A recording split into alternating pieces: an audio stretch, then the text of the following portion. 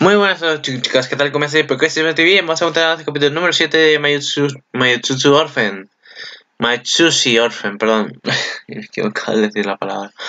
En fin, en el capítulo anterior básicamente tuvo un combate bastante interesante entre nuestro querido Orphan con el Deep Deeper, no sé cómo se llamaba, bueno, que era el enterrador, eh, el enterrador, el... Me confundí con Ide, vale. Eh, era el. ¿Cómo se llamaba? Me el nombre.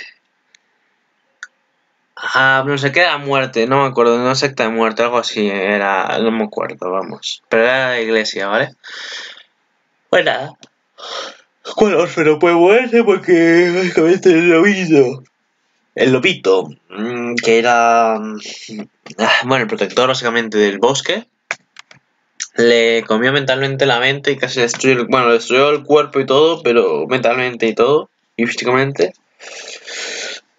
Y la otra la curó, la supuestamente protectora, o sea, protector, que comillas, y la otra protectora, comillas. Le salvó la vida, básicamente. Fienna le, salvó la vida a Orfen. Luego también, de paso, eh, aparece el pavo este, el, malo de esta McDougall. McDougall eh, básicamente se aprovecha diciendo que aquí es el defensor de los dragones y que los magos son unos malditos herejes, básicamente. Cuando él usa armas, ¿vale? Es súper lógico, armas de fuego. Y tú dices, ok, lo mismo, vale. En fin. Eh, Magic quiere salvar a Fienna, sea como sea, sea como sea, y, nada. Y al final tiene que meterse para ayudar a, Magic, para que Fienna no se vaya con eh, McDonald, McDougall, perdón, McDonald, y no se salga con la suya. En fin, capítulo número 7. Lobo reuniéndose en mi bosque.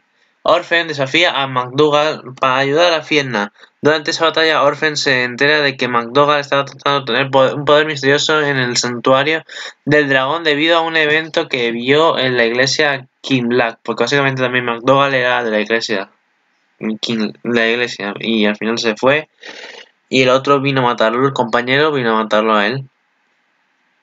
Los aldeanos que están dispuestos a asumir la voluntad de McDougall y ganar poder eh, poder, gran poder en el santuario de dragones. En ese momento un dragón profundo aparece frente, al frente a Orphan para destruir la aldea ya que McDougall y los soldados lo han contraindicado para ingresar al santuario de dragones. Vale.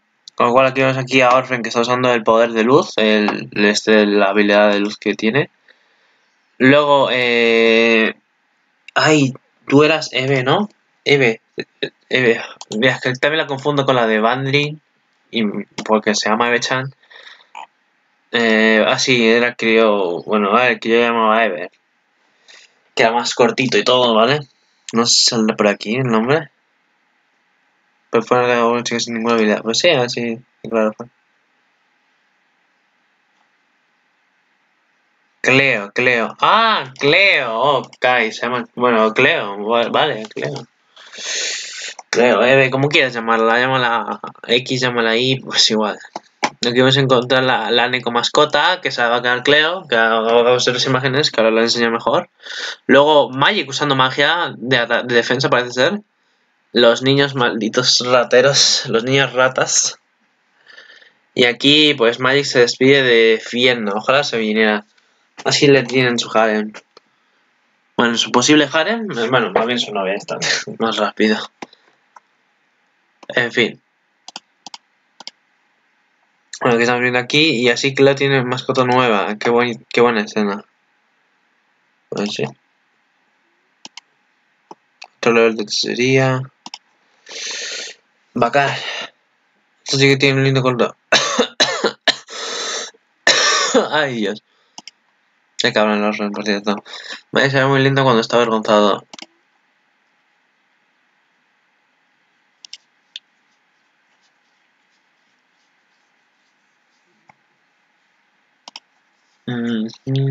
Bueno, no hay nada más que digo. Wow, increíble. En fin. Llegamos a Mike y a Fiera. de día ya en el bosque. A la despedida.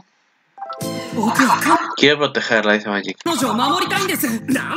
¿Qué demonios? ¿También dejarás que una chica atarrasa problemas? Porque este, Orphan se refiere a su hermanita.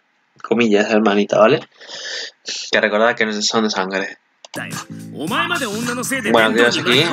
Defensa de protección. Aquí se mete Fienda para protegerles a los tres. Tal vez los estudiantes sigan los pasos de sus maestros. no es en mi bosque, lobos. Qué cabrón el Magic, eh. Qué cabrón el Magic. en fin. Así que pues nada más. Yo aquí lo dejo. Vale. Hasta la próxima.